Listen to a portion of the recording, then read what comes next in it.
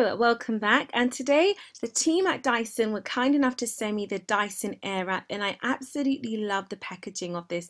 It comes in this beautifully constructed leather box, and it has a magnetic clasp which makes it easy enough to store and to close by itself.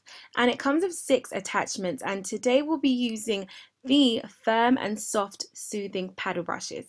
And these I absolutely love because it's gentle on my 4C type hair.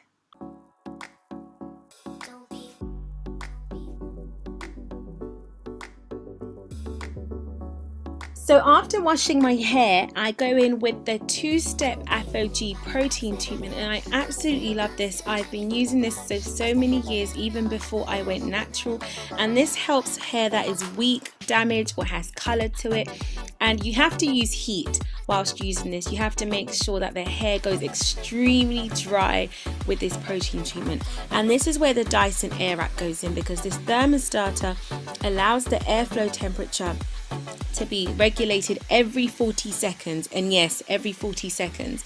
Data is transmitted into the microprocessor which allows heat to be kept at a minimum of 150 celsius.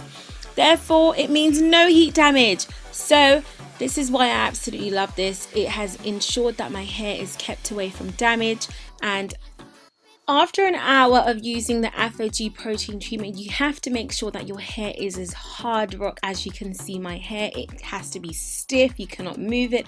And please, please, please do not play around with it as your hair will actually break because it's rock, rock, rock solid.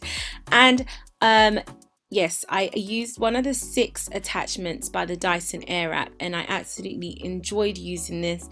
And in the shower, I then go in with the ApHogee moisturizer and one of my favorite deep conditioners, which is by Tresemme. And this helps my hair retain the moisture and also the protein treatment restores all the moisture lost.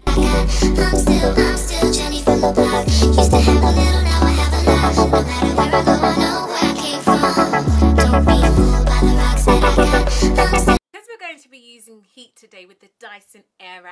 are going to go in with the heat protectant and I'll be using the Cream of Nature Heat Defense and all you need is just a little bit. You just go in on your hair like this. So we'll be going in with this side of my big head first. I also like to go in with this Kera Care Oil Moisturizer and it has jojoba oil and I love this because it also protects your hair against heat damage and it does the goddamn thing.